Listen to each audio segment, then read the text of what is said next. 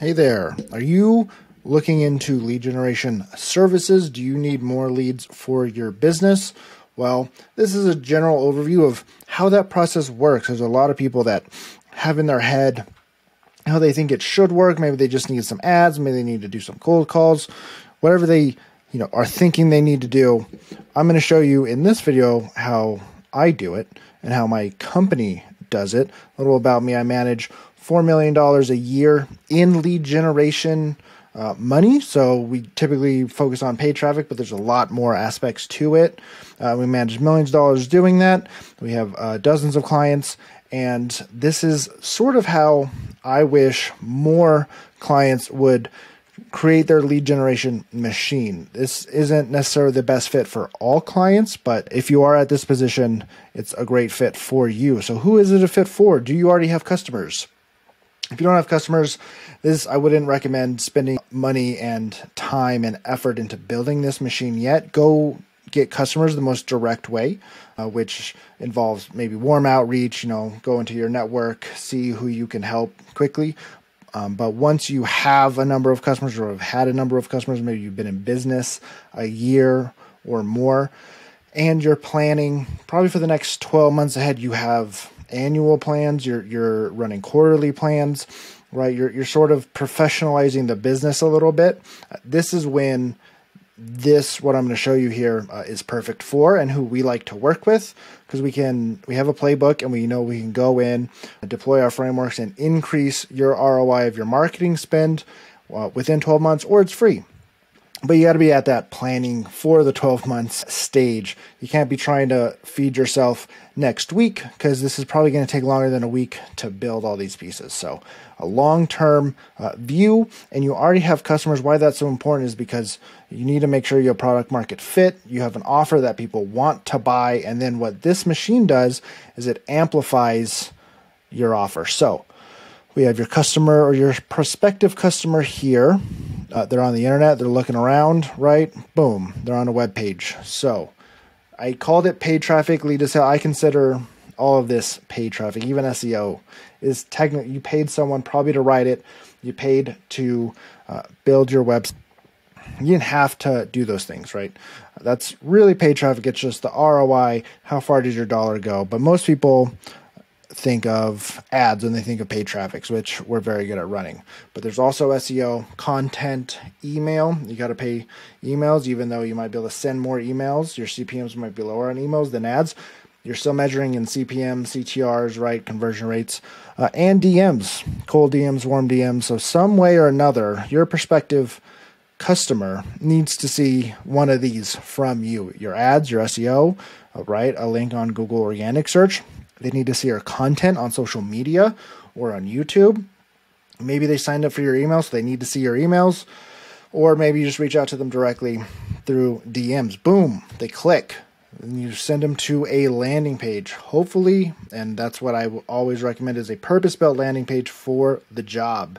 Sometimes maybe you do just want to send them to your homepage like for SEO. Maybe uh, your homepage is where they're going to go because that has the most SEO juice. Juice. But if you notice on SEO, there's also site links to maybe send them to a more directed page. the The point of a landing page is because is it has one outcome that you're driving them towards. What's that call to action? What's the one thing you want them to do? Here, I use the example of a form because I work a lot in lead generation. So this isn't for like e-commerce. This is more for getting a lead and getting them on the phone and trying to close somebody in a sale. On the left there, you have a video or you can have an image.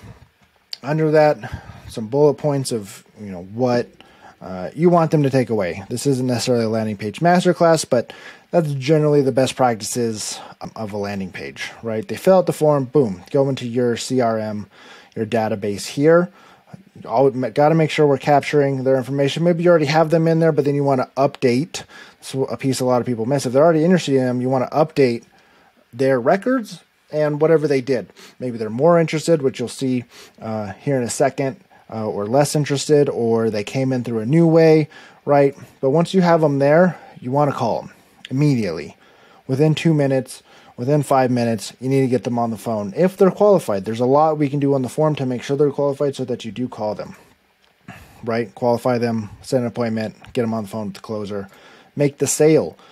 If for some reason they don't answer, you don't have someone to call, uh, like you don't have a salesperson, then you can go to retargeting. So you start sending them retargeting ads saying, hey, come back to the site, finish, you know, whatever you were doing. Uh, don't you want to do business with us? You also want to start them on an email sequence over here, a nurture sequence. They're thinking about you. So you want to keep them warm, at least in that decision cycle. Maybe it takes someone in your industry 30 days to make a decision, so you're going to want all the emails to go out within the 30 days. Maybe take them six months. Maybe it's an MBA graduate degree, and maybe they're making the decision right now, but maybe they're getting ready for 12 months from now. Right? It usually takes more than one email, right? Maybe two. Actually, usually takes more than two emails, maybe three emails. Maybe on that third email, they click the link and they go to the landing page, or they do something else uh, that makes you that sends you a signal that says, "Hey, we should call this person," because they just they just gave us another buy signal. So get them on the phone. Maybe you try to call them, maybe they don't answer, so you send them another email. Maybe in that email they go to a different page that you linked, right? Boom. So that gives you a buy signal that maybe you don't call them because maybe you've tried to call them or maybe it was a different type of buy signal, but now they're going to come off of that main email track onto a secondary email track.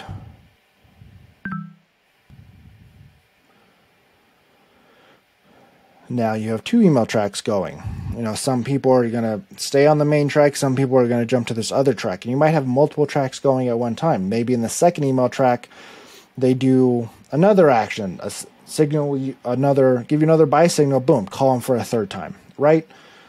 But other people you're still putting them on that main track. Eventually that track is going to extinguish if they don't take any actions or somehow get themselves back into this loop. You want to scrub them from your email list so they don't hurt your deliverability they don't hurt your stats. They're clearly not interested or maybe the decision cycle has moved on. Uh, it's it's past it's been six months and the decision cycle is only three months something like that. So you scrub them from your list.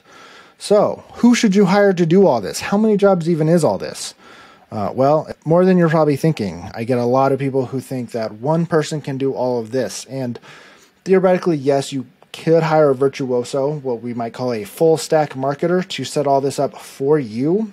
Hands on keyboard, they do the implementation, but it's going to be very expensive, or it's going to be very time consuming, or it's not going to be set up very well. So typically, the ads and the retargeting is going to be one person. Your SEO content and email can be another person. A writer could write all this for you. So, one writer. Uh, they could also write the content for the landing page. Uh, DMs is typically going to be a third person. That's probably going to be the same person as your closer or a, a salesperson or your appointment setter can send out the DMs.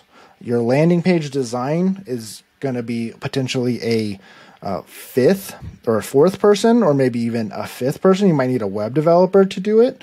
Uh, you might need a designer to design it. Maybe the person who did the ads can help you. So there's a number of people that could possibly contribute to the landing page. You're going to need someone to set up all of this automation on the back end, this system of where do the leads go? How do we tag them? How do we know when they took a different action? And then what does that action mean? So you got to map all this out and then you got to code it either in GoHighLevel, ClickFunnels, you know, some kind of software you're gonna have to build all this, and then of course you need your closer.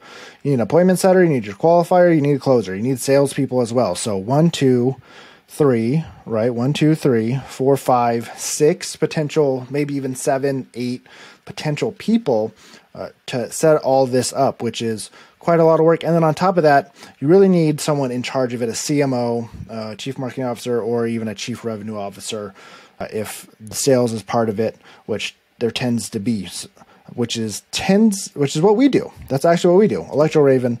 Uh, we can manage all of this for you. We have all of these team members and all this expertise, but you can see that it's not just one person. So if you expect to hire an individual for $10, $15, $20 an hour to set all of this up, it's quite a lot. It's quite complicated. It's not going to be very good. If you want quality, uh, then this is sort of the route you need someone to map it out. You need someone to set the strategy, and then they can find the experts. They can find the subject matter experts and the people who actually implement it. Boom, Electro Raven, that's us. WROI in six months, or it's free. if you're interested in something like that, send me an email, luc at lucflynn.com. I hope that was illuminating for you. I hope that clears up a little bit maybe what you need. And if uh, it makes sense for us to work together and we can give that to you, that'd be great. Anyways, take a great, Uh, have a great day. I hope you learned something. Talk later.